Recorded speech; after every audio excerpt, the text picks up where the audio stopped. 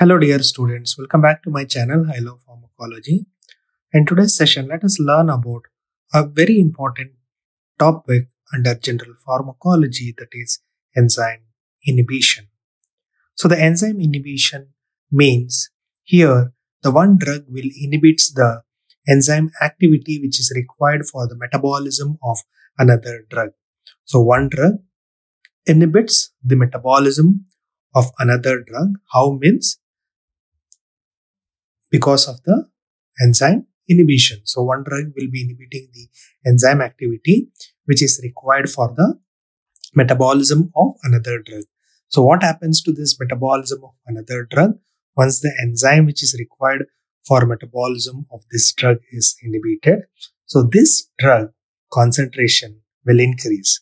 So there will be increase in the circulating levels of this drug as well as there will be prolonged pharmacological effects. So because of the enzyme inhibition, so the metabolic activity of one drug will be reduced or prevented, which further leads to increase in the circulating levels of the drug as well as since there is no metabolism or breakdown of that drug, their pharmacological effects will also be prolonged. So the enzyme inhibition can be of two types. So a drug can inhibit the hepatic microsomal mixed function oxidase that is MFOs or it can inhibit a specific enzymes like xanthine oxidase, monoamino oxidase and aldehyde dehydrogenase. So the enzyme inhibition is a very rapid process which can be reversible as well as at sometimes it can be irreversible also. So to quote the example of irreversible inhibition, so if you take an example of secobarbital, when secobarbital is administered, if the dose of secobarbital increases, so this secobarbital, as you know, it inactivates the cytochrome P450 enzyme. So by inactivating the cytochrome P450 enzyme, it impairs its own metabolism. Please remember, secobarbital, by inactivating the enzyme which is required for metabolism of its own drug, it impairs its own metabolism, leading to increase in the secobarbital, further leading to secobarbital overdose, and it can end up with the secobarbital toxicity. So this is the consequence of or the adverse consequence of enzyme inhibition.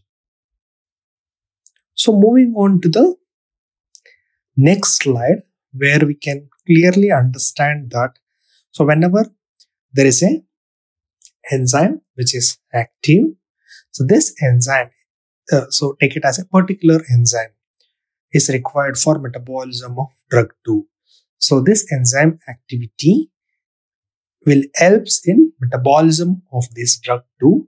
So this is the concentration you can see of the drug 2. So once it gets metabolized by this enzyme, so the concentration in the circulating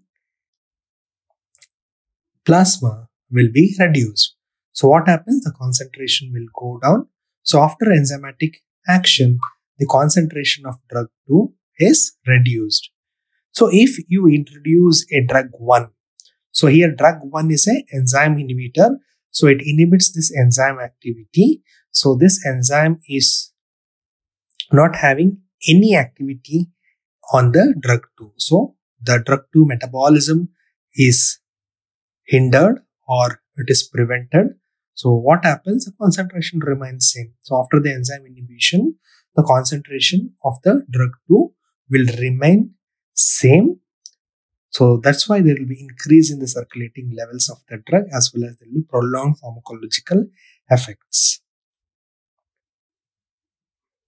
So moving on to the consequences of enzyme inhibition. So there are two consequences of enzyme inhibition.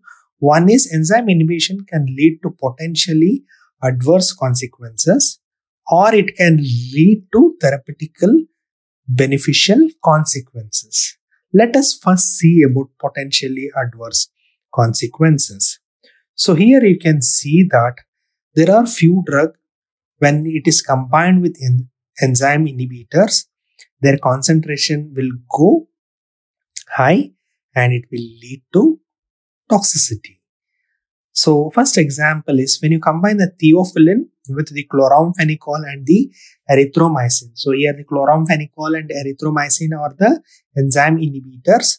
So therefore it can it will increase the theophylline concentration. So once the theophylline concentration is increased, it produces the side effects such as tremors, nausea, and vomiting. So moving on to the second example, when you combine a dicumarol with this cimetidine, here cimetidine is a enzyme inhibitor which increases the concentration of the dicumarol, which increase the risk of bleeding.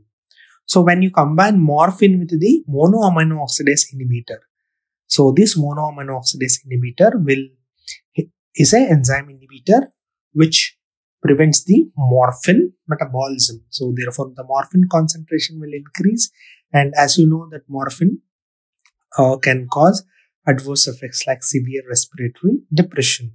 So when you combine phenytoin with the dicumarol or the chloramphenicol, so what can happen is this chloramphenicol as well as dicumarol can inhibit the phenytoin metabolism and it increases the phenytoin concentration leading to adverse consequences of phenytoin such as ataxia and drowsiness.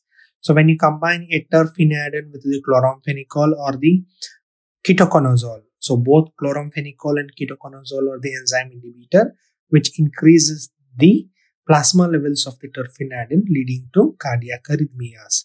So terfenadine is a histamine blocker. So please remember terfenadine can increase the risk of cardiac arrhythmias. So these are the potential adverse consequences when you combine a drug inhibitors along with the drug which requires the same enzyme for its metabolism.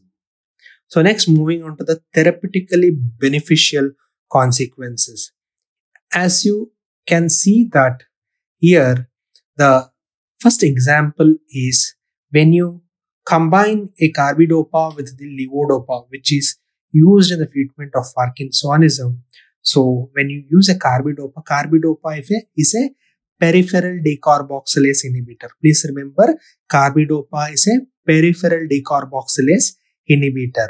So when if you give a L-dopa alone, it gets metabolized peripherally with the help of peripheral decarboxylase enzyme. So to prevent the metabolism of the L-dopa, you are combining it with the carbidopa, which is a peripheral decarboxylase inhibitor. So it increases the concentration or accessibility of L-dopa into the brain. So therefore, it can reduce the dose of the L-dopa. So second example, there is aversion to alcohol. So if you administer a disulfiram, which is a aldehyde dehydrogenase inhibitor, please remember disulfiram is used as a aversion therapy to alcohol. Disulfiram is a aldehyde dehydrogenase inhibitor where disulfide dehydrogenase is required for conversion of the acetaldehyde to acetic acid which is very toxic in nature. But this disulfiram being a aldehyde dehydrogenase inhibitor, it prevents the conversion of acetaldehyde to acetic acid. So what happens when you inhibit the aldehyde dehydrogenase enzyme activity, the concentration of the acetaldehyde will increase and this accumulated acetaldehyde produces the adverse consequences like nausea, vomiting and headache which is responsible for aversion to alcohol. Next moving on to the third beneficial consequence of the enzyme inhibition that is reversal of the skeletal muscle paralysis.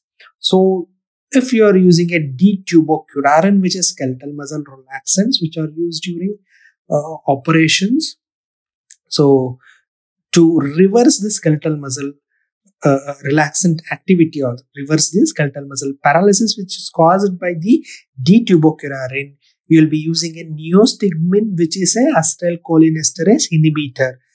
So this neostigmine will increase the concentration of the acetylcholinesterase, which is very much required for the breakdown or metabolism of the D-tubocurarine. So this was about the beneficial consequence of the enzyme inhibitors. So this was all about the enzyme inhibition and the consequences of enzyme inhibition.